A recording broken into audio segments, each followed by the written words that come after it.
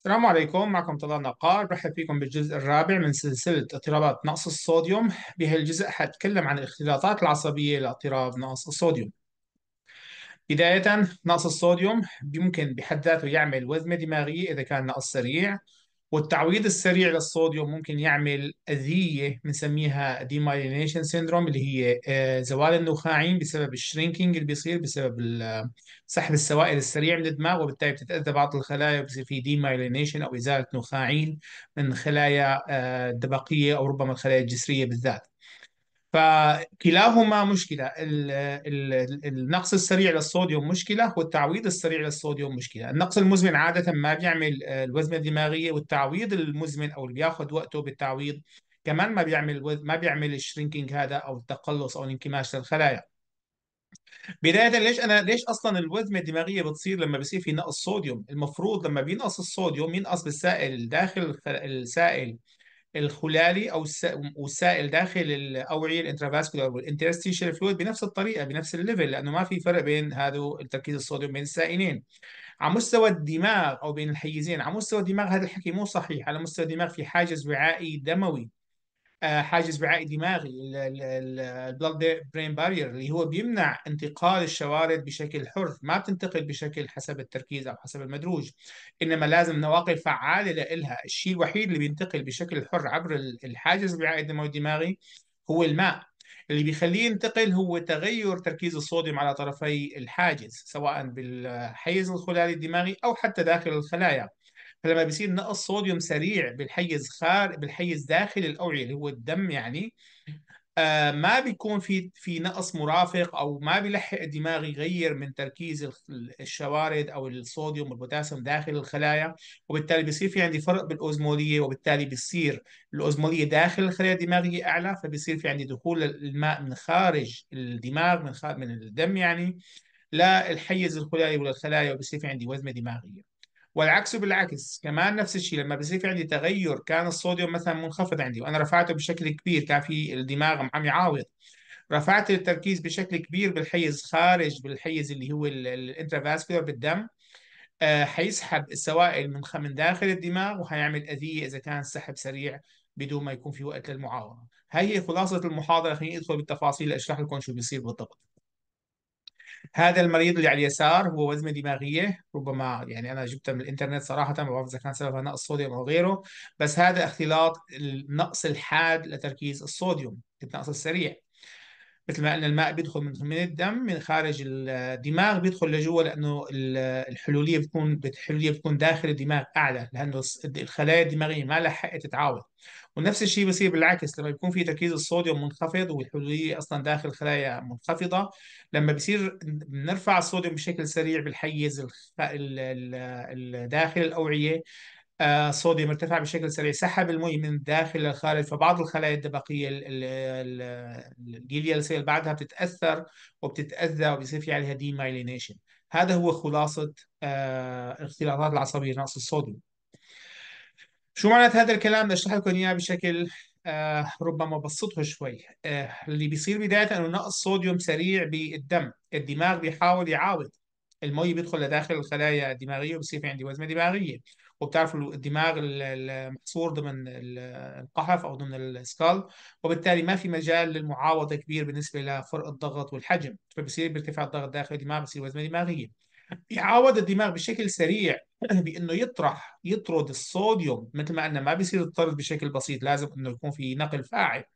فبيطرد الصوديوم والبوتاسيوم بشكل سريع وبيحاول يعاوض لانخفاض الصوديوم خارج المصل وبالتالي بيخلي بيخفض ال osmolarity إذا كان النقص أسرع من معاوضه الدماغ السريعة نوعا ما بالنسبة للصوديوم والبوتاسيوم بيصير في عندي وزمه دماغيه إذا كان نقص الصوديوم بطيء والدماغ عم يعاوض على مهله بيقدر الدماغ يعاوض آه، بشكل جيد. وبالتالي ما بيصير في عندي فرق ال osmolarity وبالتالي الماء ما بيدخل من الخارج للداخل وبالتالي ما بيصير الوزمه الدماغية وما بيصير في أعراض صوديوم. أنا شايف مرضى صوديوم آه، 105 الصوديوم جاي عم يمشي ويضحك وما عنده أي أعراض ابدا. غالبا نقص الصوديوم صار عنده على مدى أشهر وبالتالي الدماغ تخلص من كل ال extra osmolyte الموجودة عنده وعاوضها وسواها مع المصل وبالتالي ما صار في حركة السوائل بين داخل وخارج الخلايا الدماغية. آه، إضافة للصوديوم والبوتاسيوم بيصير تغيير سريع فيهم حتى في عندك ال organic organic osmolyte في المنحلات عضوية كمان وبتاخذ وقت أطول لحتى يطرد الدماغ خارج الخلايا وبالتالي بيحافظ على تخفيض ال osmolarity داخل الخلايا وبالتالي بيمنع من ال shifting حركة الماء من الخارج للداخل. فهذه بتاخذ وقت أطول هذه ال adaptation هذه بتاخذ ربما يعني أيام إذا كنا الصوديوم بوتاسيوم ساعات ربما هي تاخذ ال osmolyte أيام اللي هي غالبا organic acid اللي عم يصير بال osmotic demyelination syndrome إنه هي الخلايا آه، فقدت معظم ال osmolyte تبعها مشان تتناسب مع انخفاض التوتر ال osmolarity بالبلازما. فأنا لما بيجي أنا بحطها بسائل هي الخلايا اللي هي خلايا الدبقية بحطها بسائل مفرط التوتر الحلولي يعني حطيتها بصوديوم عالي كان الصوديوم 110 صار فجأة 120 أو 130 أو 140 رفعته بشكل كبير. فالسائل اللي داخل الخلايا حيطلع خارج الخلايا خارج الدماغ ويصير في عندي shrinking وفي أذية خاصة بهدول الخلايا الدماغية وبالتالي يصير في عندي demyelination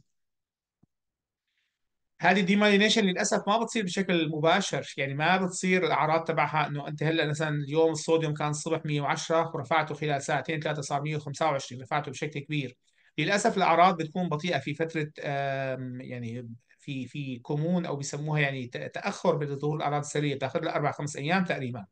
فممكن يظهر المريض صلحت له الصوديوم بشكل سريع وما انتبهت عليه اليوم أنت خاصة إذا كان منبه على منفسة بعدين بعد عدة أيام شلته آه ببلش يظهر أعراض dysarthria سوء النطق ال dysphagia الخزل الرباعي أو خزل خزل آه، ضعف الحس الرباعي.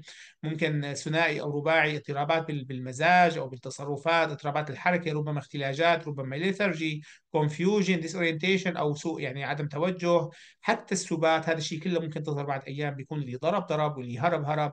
فهي مشكلة التعويض السريع للصوديوم إنه اليوم ما حتظهر الأعراض بس بعد أسبوع وقت بيصير عند ال- ال- ال- الفاس بالراس مثل ما بيقولوا. ما عاد في مجال إنك ترجع تصلحها. فلذلك مهم جدا إنك تمنع حدوثه وإذا صار تصحيح سريع إنك ترجع تصلحه لأنه لسه معنا وقت مشان نحمي الدماغ من الأذية. فاللي بيصير بالبداية هذا الدماغ الطبيعي فقد نقص الصوديوم صار في عندي. water gain دخل الماء على الخلايا الدماغية صار في عندي. وزمة دماغية ال rapid adaptation اللي حكيناه اللي هو فقد الصوديوم والبوتاسيوم بشكل سريع. بعدين ال slow adaptation اللي بياخذ أيام ربما اللي بتفقد ال organic osmolyte بعدين إما إنه نصلح بشكل بطيء ال proper therapy أنا عم صلح الصوديوم بشكل بطيء وبالتالي هي الدماغ بيرجع بيكسب كل اللي فقده بشكل طبعا بياخذ وقت لحتى تدخل الخلايا وبالتالي ما بصير في عندي shrinking للخلايا أو إني أنا بصلح الصوديوم بشكل سريع برا الدماغ ما بيلحق يعاود وبالتالي بصير عندي ال osmotic demyelination اللي هو side effect أتمنى ما حدا فيكم يشوفه. هلأ آه مثل ما قلنا ال hyponatremia لما بصير يعني نقص بال tonicity للبلازما بالتأثرية هذا الشيء بيحرك الخلايا من الخارج للداخل وبالتالي بيساوي الأعراض العصبية. عادة 125 أكثر من 125 ما بصير حتى لو صححنا الصوديوم أكثر من 125 عادة ما بتصير الأعراض العصبية. عادة الأعراض العصبية بتظهر لما المريض بيكون الصوديوم تبعه بينزل عن 125 ممكن صداع yawning اللي هي ال- التثاؤب ال lethargy النوام ال nausea وال ataxia حتى الغثيان. كلها ممكن تظهر بخاصة الت- التغير السريع والانخفاض الشديد. الشديد هو 120 حالة عادة. ممكن يصير ذهان عندما psychosis seizure اختلاجات أو حتى سبات لما بيكون في عندي نقص صوديوم سريع مترافق مع وذمة دماغيه شديده هي الأعراض الثانية هي ربما الأعراض الأخف والأضعف لما بيكون في عندي آه، نقص صوديوم معتدل ممكن الصوديوم 120 125 سواء تعب نوزيا مثلا هي كلها أعراض عصبية بعدها أو أوقياءات ممكن اضطرابات بالمشي بس مو مثل لما بيصير في عندي النقص الشديد تحت ال 120 وممكن يوصل للسيجر والكوما. معنا عادة نقص الصوديوم الحاد اللي أقل من 48 ساعة مثل ما قلنا الدماغ ما لحق يعاود بيترافق مع أعراض عصبية سببها الوزمه الدماغيه نقص الصوديوم المزمن اللي هو أكثر من 48 ساعة بالتعريف عادة ما بيترافق مع أعراض عصبية لأنه ما بيكون في عندي وذمة دماغية. بس ممكن يعمل يعني بيسموها اضطرابات معرفية نقص الصوديوم المزمن ممكن اضطرابات المشية osteoporosis ربطوها مع نقص الصوديوم السقوط المتكرر الكسور مثلا نقص ال daily life activity اللي هي القدره على ممارسة النشاطات اليومية وربما ربطوها مع زيادة ال mortality هدول المرضى عادة الصوديوم تبعهم بيكون 130 127 مثلا بشكل مزمن وما عم يتصلح وبالتالي بيترافق مع كل ربطوها بالدراسات ال observational مع كل هي الاختلاطات فمهم الواحد يصلح الصوديوم حتى لو كان مزمن ما انه عرضي أو ما في أعراض صارخة للمريض. آه ببعض الدراسات ال mortality وصلت لل 50% بحالات ال severe hyponatremia نقص الصوديوم الشديد. حكينا عن الوذمة الدماغية إنه في عنا ربما يعني يعني ربما شرحتها أظن ما بعرف لازم أرجع أحكي الكلام إنه الدماغ بيقدر يعاود لما بيكون نقص الصوديوم مزمن أو بياخذ وقته ساعات وربما أيام لحتى نقدر نطلع كل الأوزمولايت من الدماغ وبالتالي ما يصير وزمه دماغية. إذا نقص الصوديوم سريع ما بيلحق الدماغ يعمل ادابتيشن ويصير في وزمه دماغية وبتصير الأعراض العصبية. هلا وجود إصابة عصبية سابقة قبل ما يصير في عندي اضطراب الصوديوم هذا ممكن يزيد من من من خطورة أو حدوث تطور وذمه دماغية. لو مريض عندي صرع أصلا مريض عنده hypoxia نقص اكسجين مريض hypercapnia مرضى الحماض ومرضى ال hypercalcemia فرط الكالسيوم بيكون نسبة حدوث الوذمه الدماغية عندهم أعلى لأنه في عنده إصابة سابقة أو في اضطراب اضطراب سابق. النساء بسن الحمل ربما معهم 15 ل 35 سنة الأطفال كمان على خطورة أعلى لتطوير اضطرابات عصبية أو أو أعراض عصبية أو وذمه دماغية بسبب نقص الصوديوم خاصة بالحالات اللي بعد الجراحات. يعني هدول المرضى اللي بيعملوا جراحات بسيطة مثلا أطفال أو نساء والطبيب المقيم بيحطهم على سوائل منخفضه التوتر ال osmolarity مثلا اللي هن مثلا ال half normal saline الملحي نصف النظامي. أو آه، سكري مثلا وبيكون عندهم غثيان بيكون عندهم اقياءات ألم شديد هذا الشيء كله بيحرض ال ADH فهدول معرضين ليصير نقص صوديوم شديد ويصير عندهم أعراض عصبية وقد تنتهي بالوفاة للأسف إذا ما انتبه عليها المقيم. حكينا وشرحنا شو هي متلازمة زوال النخاعين الحلولي osmotic demyelination syndrome اللي لها اسم ثاني كمان سابق أو كان يسموها سابقا central pontine ماينولوسيس انحلال النخاعين الجسري المركزي لأنه كان يشوفوا انحلال النخاعي يصير أكثر شيء منطقه الجسر. بس ربما هلأ الدراسات الثانية شوفت إنه هذا الانحلال عم يصير بكل الخلايا معظمها بتصير وبالتالي ما محصور بالجسر فقط لذلك غيروها لهذا الاسم الثاني. سببه هو التعويض السريع. آه، نسبة حدوثها متغيرة حسب الدراسات. ربما مرضى مرضى تشمع الكبد نسبة أعلى لحدوثها لأنه هدول المرضى بيكون عندهم المرضى اللي تشمع بيروحوا على الزرع. بيكون عندهم أصلا نقص صوديوم مزمن مزمن يعني معنى آخر الدماغ ما بيصير تصلحه بشكل سريع. فبتاخذوا العمليات. أنا شايف مريضة على الأقل بهذا النمط. عمليتها كانت 16 ساعة أو يعني أكثر ربما اطباء الجراحه والتخدير طبعا أعطوها عشرات اللترات من ال fluid. عم نحكي عشرات يعني عشرات اظن 16 لتر.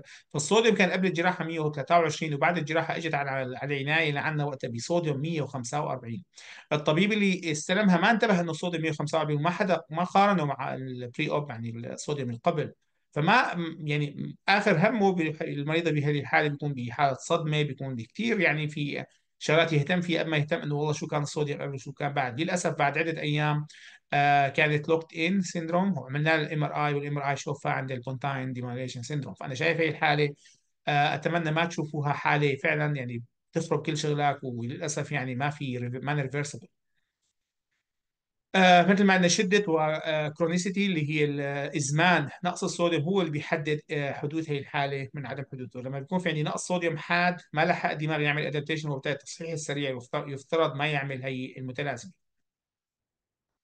يومين أو ثلاثة من التصحيح بيصير بعد يعني التصحيح السريع بعد يومين ثلاثة تبدأ تظهر الأعراض والمريض بيكون locked-in اللي هو متلازمة القفل أو إنه هو آه، ما يعني هي أطرافه ما بيقدر يحركها وعيونه مفتحة هي locked-in ممكن تتأخر حتى أسبوعين لتظهر وبالتالي خطورة هي المتلازمة مهمة جدا في الممارسة.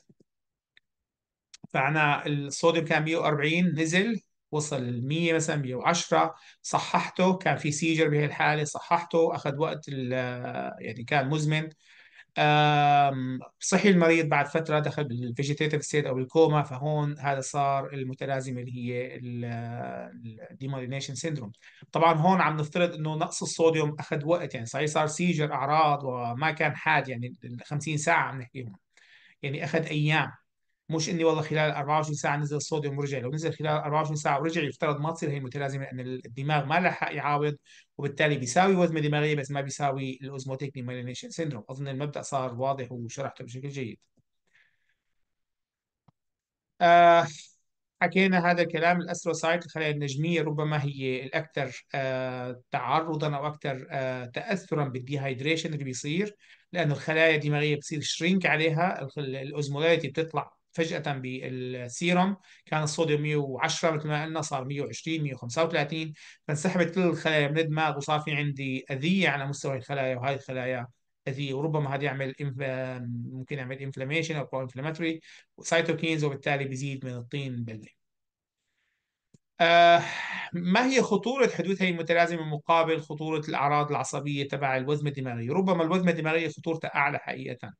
هلا في دراسة جديدة ربما انتشرت بال 2022 كانت دراسة كندية عم تقول إنه نحن كثير حذرين بتعويض نقص الصوديوم ويبدو إنه هي المتلازمة نادرة الحدوث بالتدقيق بهي الدراسة تبين إنه معظم المرضى كان الصوديوم تبعهم عنده 120 وبالتالي أصلا حدوث المتلازمة على صوديوم 120 ما هو شغلة شائعة.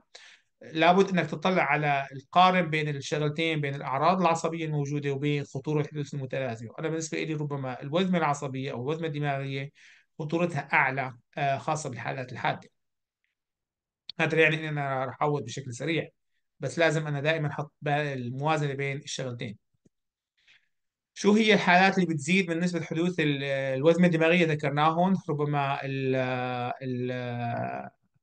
المرضى النساء الشابات بعد العمل الجراحي النساء المسنات اللي بياخذوا ال thiazide بيكون عندهم chronic hyponatremia ربما نسبة حدوث هي الوزمة الدماغية أعلى عندهم الأطفال حكيناه هون آه مرضى ال polydipsia مثلا اللي بيصير عنده نقص صوديوم سريع خلال يوم واحد بيشرب 18 20 لتر مثلا العطاش آه نقص الاكسجين وربما ال marathon runner كمان بيصير عندهم هذا الشيء مرضى اللي بيركضوا بالماراثون مثل ما حكينا الآلية إنه بيصير في إجهاد شديد بيصير في عندك ضياع للصوديوم بيصير تعويض لسوائل منخفضه التوتر الحلولي فالصوديوم بينزل بسرعة وبيصير عندهم أعراض عصبية قد تنتهي بالوفاة. لذلك حتى بهدول الحالات لما بيصير في أعراض عصبية عند ال marathon runner بيعطوهم 3% أو أكثر أو غيره بدون حتى ما يحللوا الصوديوم تبعهم.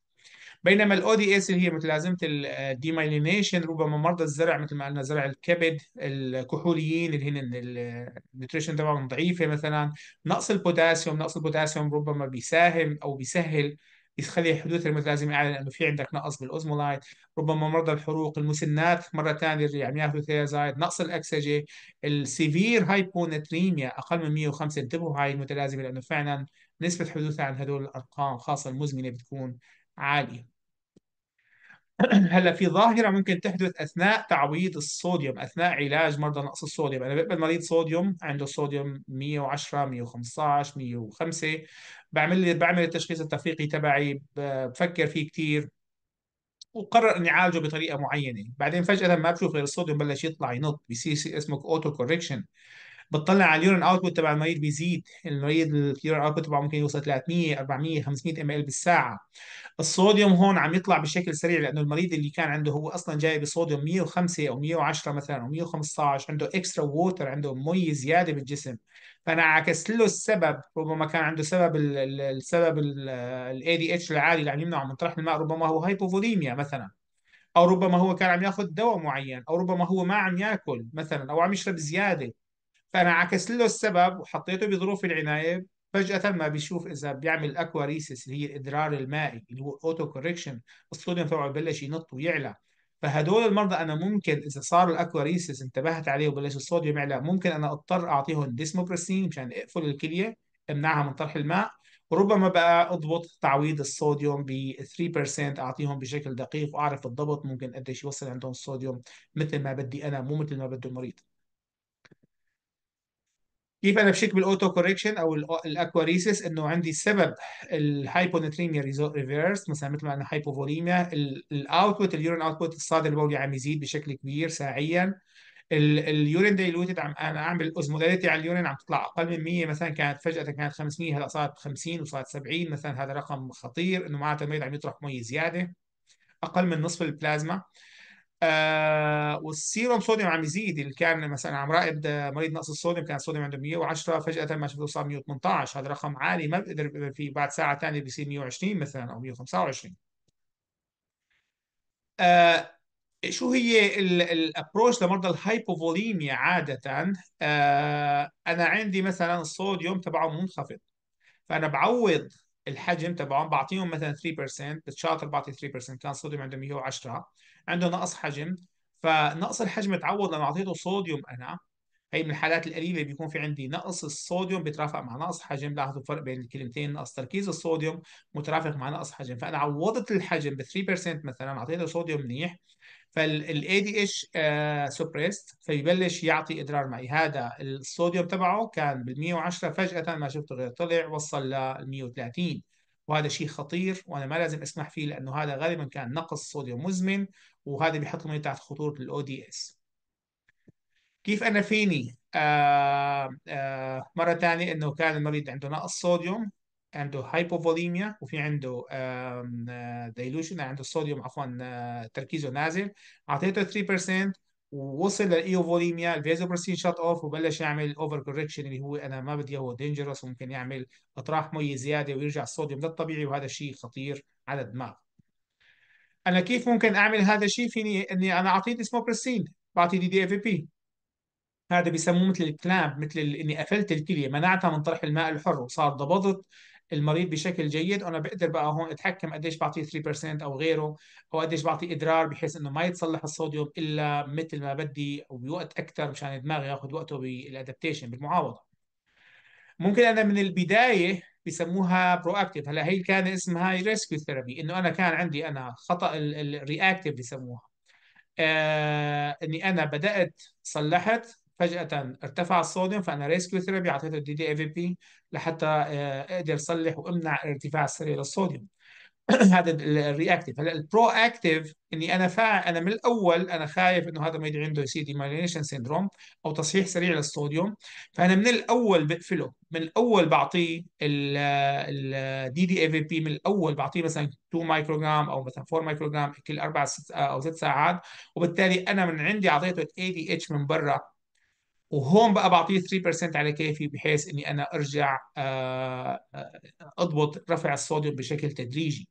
فهذا بيسموه ال proactive strategy فبنرجع للاستراتيجيات اللي ممكن تصادفك كمريض آه، نقص صوديوم شديد. ال rescue therapy أنا الصوديوم بلش عندي منخفض صلحت له بسبب أو بآخر سوى over correction وصل ل 123 صار ربما خطير من 108 123 أكثر من 8 فأنا هون بضطر أعمل rescue therapy بعطيه DDAVP وبخلي الصوديوم وممكن اعطي D5 water بهالحاله بمدد له بمدد له برجع له الصوديوم للمستوى المطلوب مثلا 108 أنا بدي إياه يطلع 8 فلل 116 فأنا بحسب قديش بدي أعطي D5 water بالساعة وبرجع وبراقب الصوديوم وبخليه يرجع ينزل للمستوى الطبيعي خلال 24 ساعة. فهي بسموها ال rescue strategy العلاج الإنقاذي. الطريقة الثانية ال reactive إني أنا بدأت بالتصحيح بدأت بالتصحيح. فجأة شفت إنه التصحيح صار عالي وصل لأرقام يعني مخيفة. بعد ما وصل للأرقام العالية كثير هو لساته 114 بس أنا هذا بدي إياه مو أكثر من هيك. فال reactive هون أنا بستجيب إني أنا أعطي ال DDAVP وبمنع الصوديوم من الارتفاع أكثر فأنا بدي مثلا هون 6 بهالحالة. الثالثة هي ال proactive إني أنا من الصفر من النقطة صفر من اللحظة الأولى. شايف المريض وخايف وعارف إنه هذا عمل auto correction مريض كحولي مثلا وجايني ب آه، ال beer potomania هدول تحت خطورة ال over correction فأنا من أول بعطي DDAVP وبعطيه 3% مثلا وبضبط ارتفاع الصوديوم على كيفي بالمقدار اللي بدي إياه. بدي يطلع خلال 24 ساعة 6 mEq التركيز. فثلاث استراتيجيات ممكن تصادفني بالحياة اليومية. عادة نحن كأطباء كليه بيطلبونا على ال rescue إنه الصوديوم مرتفع كثير وبدهم رأينا أو يعني التغطية القانونية حقيقة. فإحنا هون نجي نكون نعطوا DDAVP ونتابع معاهم ونكمل معاهم. أحيانا بنكون على ال reactive ربما بنساعد بمرضى أنا كطبيب كلية في طبيب العناية هو الأساس بيعالج الحالات حقيقة. أنا أنا حاليا موقعي من الطرف الثاني. وربما ال proactive لو كنت كثير شطور فأنت عارف إنه من الأول لازم تعطي proactive strategy ما بصير تعطي المريض على كيفه الا بيصير تحت خطورة يعني ال risk ومضطر تعمل له rescue therapy. أو إذا نسيته ممكن تعمل له أذية كبيرة. آه مرة ثانية هذا بيلخص ال proactive اللي هي الفاعل reactive هي الارتكاسي أو ال rescue اللي هي الإنقاذي. وهي هي طريقة الموضوع. ال proactive من الأول بعطي DDAVP مع 3% ال reactive بنص العلاج بعطي ال 3% مع ال مع ال DDAVP ال rescue هون أنا ارتفع الصوديوم كثير عندي بعطي DDAVP وبعطي معه ال D5 water عشان ننزل الصوديوم. هلا نقل ال acute water intoxication اللي بيصير خلال 24 ساعة وما في عندي خطورة عالية للنقص لل demyelination syndrome عادة ما في داعي لل relowering من من دائما بنحافظ يعني ربما ال maximum هو 12 حقيقه بس يعني هي كلام عام إنه إذا صار نقص صوديوم سريع التنزيل التصحيح السريع للصوديوم يفترض ما يعمل مشاكل بس نحن مشان نكون دائما بال safe side أنا maximum بسمح فيه 12 لما بيكون ال risk هو moderate تبع ال ODS ال osmotic demyelination syndrome أنا مضطر هون لما بيزيد المقدار أنا الجول تبعي ربما up to 8 بس لما يكون high risk من الأول مريض تشمع مريض اللي حكيناهم أنا الجول تبعي 6 فأنا لازم أعمل relowering أعلى بكثير لأوصل لحتى فقط إني ما أرجع التركيز ما يطلع أكثر من 6 هيك بكون وصلت لنهاية المحاضرة. هذا هو ملخص الاضطرابات أو الإصابات العصبية اللي بنشوفها بمرضى نقص الصوديوم. أتمنى أني أضغط على الموضوع صار أوضح بالنسبة لكم. ومرة ثانية بذكركم أنه المراقبة المراقبة هامة لتصحيح الصوديوم. آه عادة نحن بنراقب نقص الصوديوم تصحيح الصوديوم بنراقبه بأنه نعمل تحاليل مخبرية كل ساعتين. هلأ لو بدك تعمل تحاليل كل ساعتين أنت حتبعت على المخبر المركزي. هي التحاليل عادة بتاخذ أكثر من ساعتين لتطلع نتائجها. ربما الأفضل إنه تعمل point of care اللي هي تعملها على ال bedside اللي هي بتطلع مباشرة أو غازات الدم جهاز الغازات إذا معاير بيعطي نتائج تحليل الصوديوم بشكل جيد. المشكلة إنه في فرق بين تحليل المخبر وتحليل الغازات أو تحليل ال point of care فإذا أنت اعتمدت طريقة واحدة يفترض تتابع فيها طوال فترة العلاج مشان ما توقع بالخطأ أو يصير في عندك يعني خلط بالنتائج. هيك بيكون وصلنا لنهاية الاختلاطات العصبية. لنقص الصوديوم المحاضرة الجزء القادم هو بيكون عن علاجات نقص الصوديوم وإن شاء الله بنغطي معظم العلاجات المتوافرة آه، بهذه الحالة. السلام عليكم.